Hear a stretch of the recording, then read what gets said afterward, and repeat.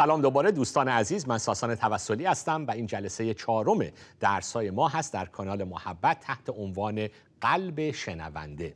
دارم از کتابی استفاده می کنم که تیترش هست The Listening Life زندگی شنونده یا زندگی که گوش میده. ادم مکیو نویسنده این کتاب هستش و داریم صحبتمون رو ادامه میدیم الان تو این جلسه. توی جلسات گذشته توی درسای مقدماتی صحبت اهمیت و جایگاه شنیدن و گوش دادن رو در زندگی یک ایماندار مسیحی در کتاب مقدس با همدیگه مطرح کردیم که کلام خدا ما رو دعوت می‌کنه به گوش دادن به شنیدن و اهمیت و پررنگی شنیدن و گوش دادن در کتاب مقدس رو با همدیگه در باره ابعاد مختلفش صحبت کردیم. حالا داریم صحبتمون رو ادامه میدیم. چرا ما باید انسانهایی باشیم که بشنویم و گوش بدیم؟ حالا شاید اگر برنامه رو دنبال نکرده باشید میگید ساسام چی رو باید بشنویم؟ به چی باید گوش بدیم؟ حالا صحبت همون رو ادامه میدیم در جلسات آینده ولی داریم درباره اهمیت شنیدن و گوش دادن صحبت می‌کنیم. گوش دادن به صدای خدا گوش دادن به پیام کلام خدا گوش دادن به درس هایی که طبیعت و خلقت برای من و تو دارن گوش دادن به دیگران گوش دادن به دردها و رنجهای همسایه. گوش دادن به داستان زندگی خودمون پیام هایی که از زندگی خودمون برامون داره مطرح میشه. اهمیت شنیدن گوش دادن درک کردن توجه کردن. تو دنیای زندگی می‌کنیم که تنهایی داره بیداد می‌کنه. چقدر همسرا حس می‌کنن که همسر همسرشون درکشون نمی‌کنه. چقدر بچه ها حس می‌کنن که پدر مادرها بهشون گوش نمیدن. چقدر افراد توی مجامع در خانواده در کلیساها احساس می‌کنن که کسی اونها رو نمی‌فهمه نمیشنوه بهشون توجه نمیشه.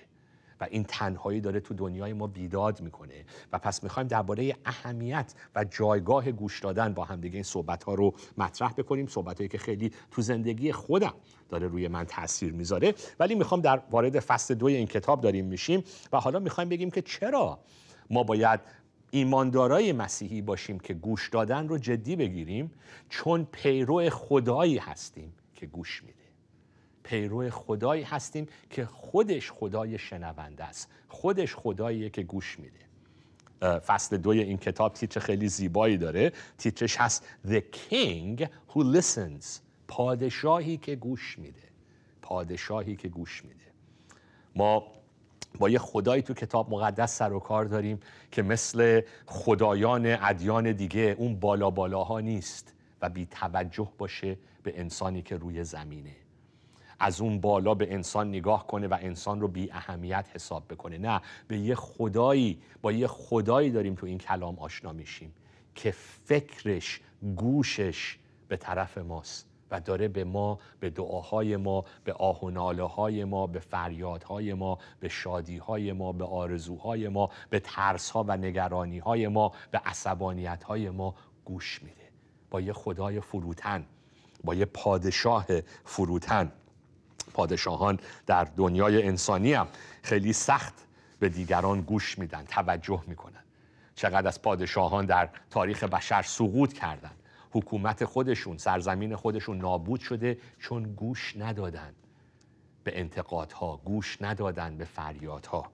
ولی ما به یه پادشاهی سر و کار داریم که گوش میده توجه می‌کنه. مثلا می‌خوام به یه سری آیات با هم دیگه نگاه کنیم. داستان خروج داستان نجات قوم اسرائیل از بردگی مصر چطوری شروع میشه؟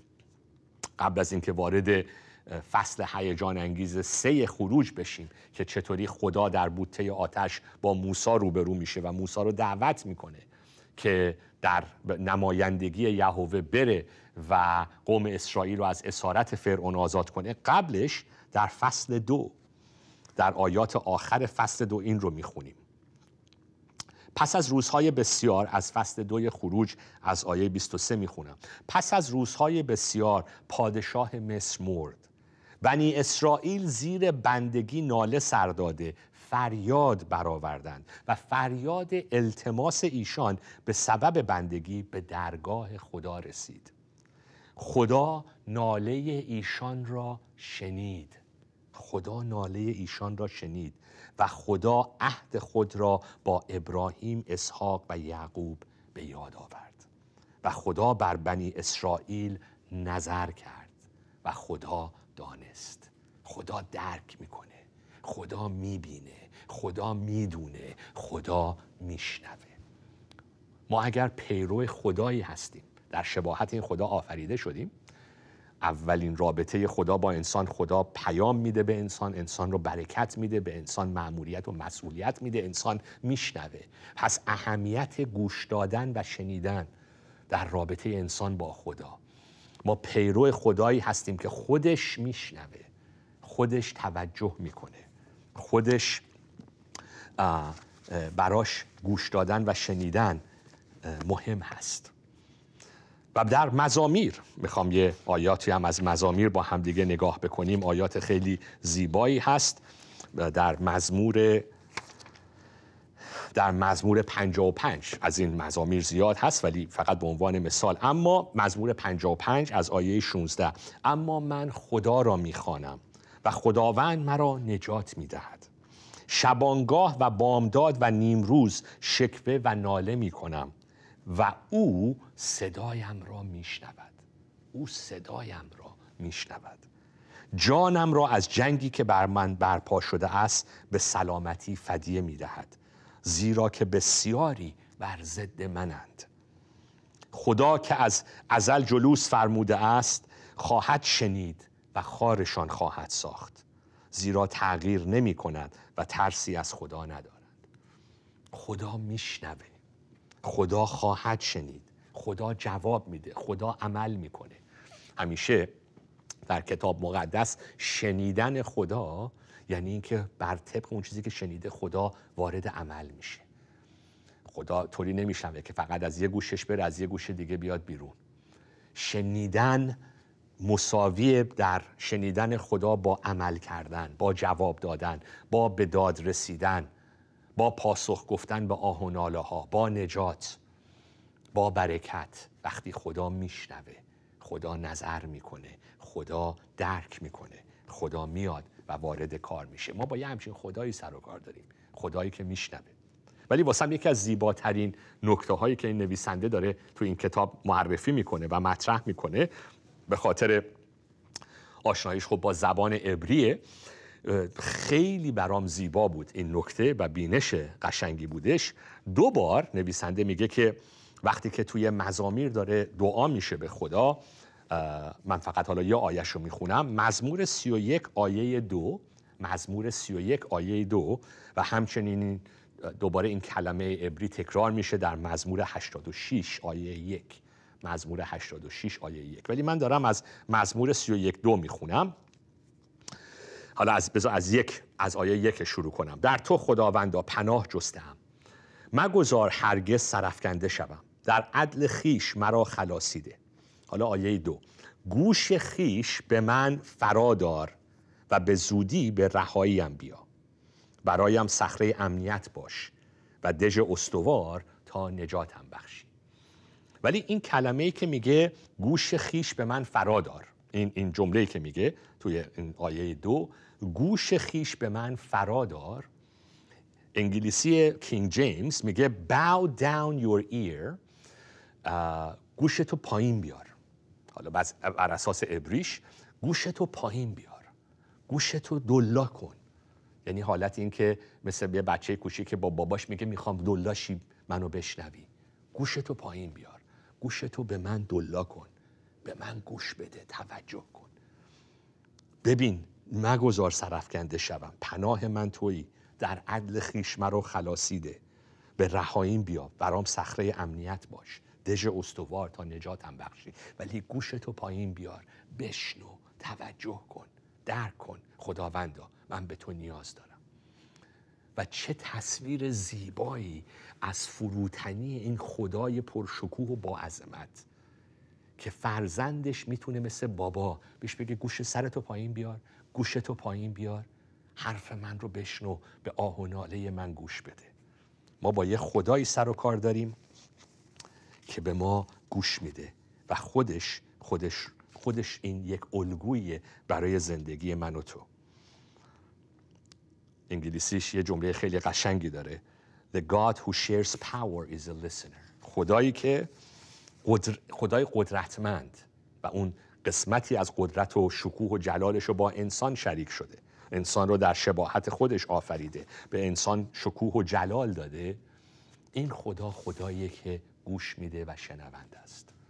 پس قسمتی از حقیقت انسانیت من و تو قسمتی از رشد روحانی در زندگی من و تو قسمتی از پیروی من و تو از شخصیت این خدا عزیزان اینه که من و تو هم مثل این خدای خدایان این پادشاه پرشکوه گوش بدیم و توجه کنیم. چقدر شده که من و تو وقتی یه مقامی پیدا می‌کنیم یه جایگاهی پیدا می‌کنیم یه قدرتی پیدا می‌کنیم یواش یواش دیگه به کسایی که زیر دست ما هستن گوش نمی‌کنیم. فکر می‌کنیم نه دیگه قدرت داشتن یعنی که من حرف می‌زنم من دستور میدم من موعظه می‌کنم من تعلیم میدم بقیه باید بشینن گوش کنن فقط. ولی ما با یه خدایی سر و کار داریم که با تمام قدرت و عظمتش گوش میده. و با فروتنی و با فروتنی برای من و تو یک الگویی هستش. اواخر این کتاب نویسنده میگه من آرزوی اون روزی رو دارم که کلیسای جمعی بشه که قبل از اینکه بریم و فقط حرف بزنیم بریم و اول تاکید رو بذاریم اول سعی و کوششمون رو بذاریم روی گوش دادن. میگه دعای من برای اون روزیه که کشیش ها به اعضا گوش بدن. ره، رهبرا به کسایی که زیر دستشون هستن گوش بدن. پدر مادرها به بچه ها گوش بدن. مردا به زنا گوش بدن. فقط ثروتمندا به فقیرا گوش بدن. فکر نکنیم که چون ما اولی ما برتریم ما در جامعه قدرت داریم. من تو این سازمان رئیسم. من سر این خونواده هستم. پس من حرف می‌زنم دیگران باید به من گوش بدن. نه ما پیروی خدایی هستیم که خودش گوش دهنده است. و بعد حالا این رو تو جلسه بعد با هم دیگه باز می‌کنیم وارد داستان مسیح میشه نویسنده که مسیح هم کسیه که داره گوش میده به دیگران. مسیح هم کسیه که داره میشنوه صدای دیگران سوالاتشون ترسهاشون آه و ناله و فریادهاشون. پس خدای گوش دهنده و خیلی جالبه که در مقایسه با این خدایی که در مقایسه با این خدایی که داره گوش میده به آه و ناله قوم اسرائیل کتاب خروج فرعونی رو معرفی می‌کنه که گوش نمیده. فرعونی رو معرفی می‌کنه که گوش نمیده. در مقایسه با خدای موسی که خدای شنواست و خدایی که گوش میده.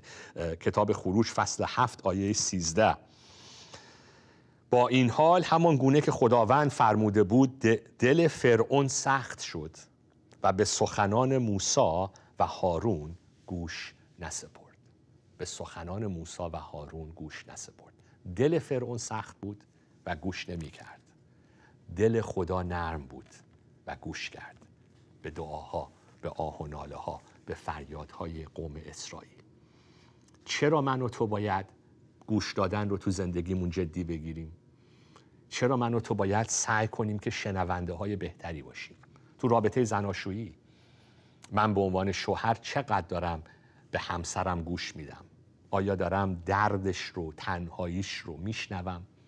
یا همسر چقدر داره به شوهرش گوش میده؟ آیا داره فشارها و ترسها و استرابهاش رو میشنوه؟ آیا به عنوان پدر و مادر داریم میشنویم صدای بچه هامون آرزوهاشون ترسا و نگرانی هاشون آیا داریم گوش می‌کنیم؟ چون پیرو خدایی هستیم که گوش می‌کنه و میشنوه. مرسی که با من بودید. تا هفته آینده شما رو دستای خدای بزرگ میسپارم. خدا نگهدار.